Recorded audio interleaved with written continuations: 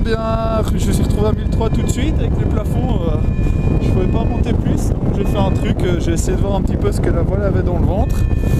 Et euh, j'ai déjà attaqué par euh, quelques décros, quelques 3-6, quelques 7.